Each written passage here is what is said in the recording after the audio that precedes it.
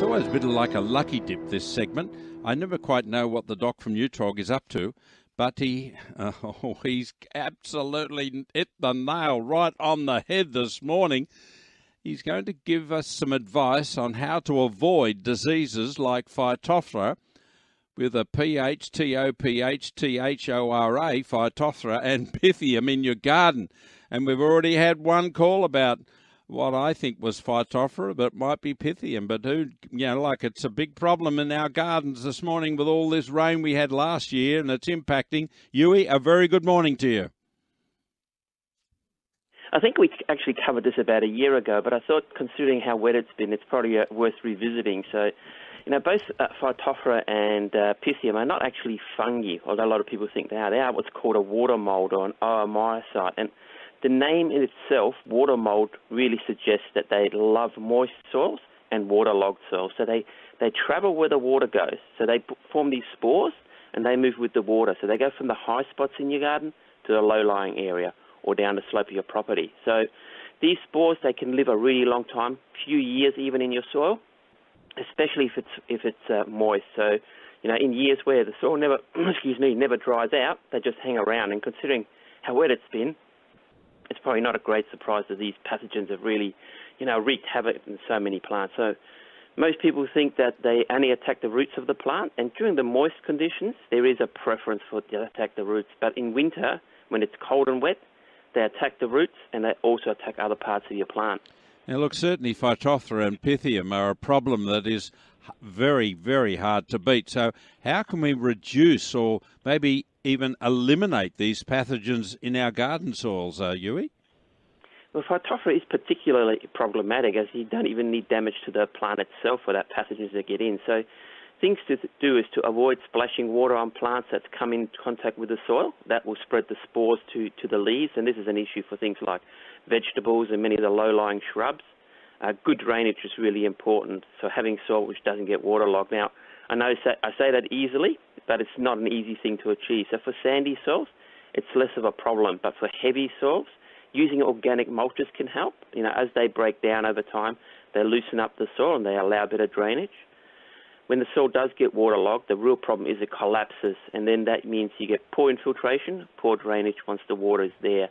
So drainage channels, ag pipes can divert some of the water.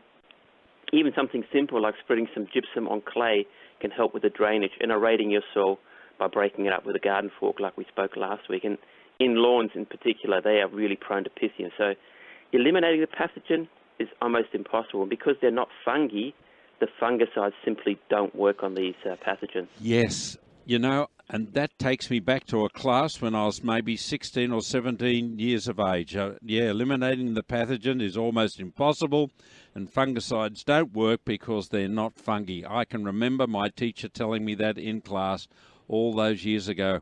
So, what about biological controls, Uwe? Well, we've done some work with Alan from Freshwater Farms. I think he yes. spoke to you uh, last week. So and we were able to stop uh, Phytophthora on his farm, at least a spread of it. And uh, in another trial, we in New South Wales, we actually controlled Pythium and turf. So the microbes we used in those trials are actually the same ones we use in POPUL8. So there's certainly the potential for biological control. And I think, you know, if POPUL8 use, if people use POPUL8 virtually like a, as an insurance policy against uh, Phytophthora and Pythium, it may not be a bad way for gardeners to go. I know, you know, it's uh, one of those things. When you lose a, a beautiful tree that you've maybe had in your garden for 20 or 30 years, it really is quite heartbreaking. And, and you leave that gap in your whole garden. It, destroys the look. So, you know, a little bit of care now, and maybe you can save those guys.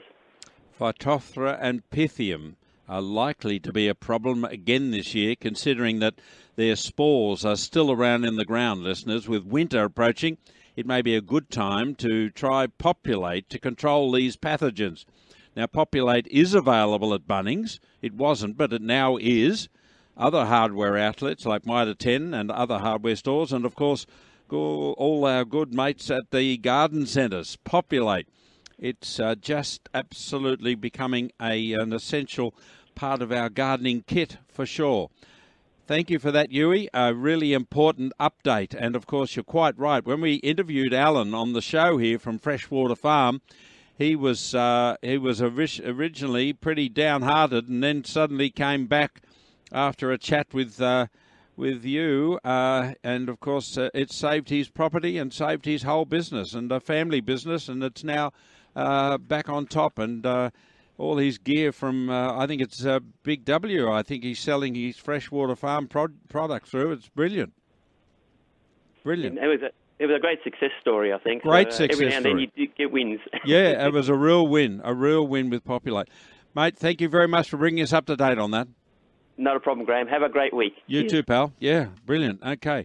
Well, we've been talking about it. You heard it first here, and you continue to hear it first here on the 2GB Garden Clinic.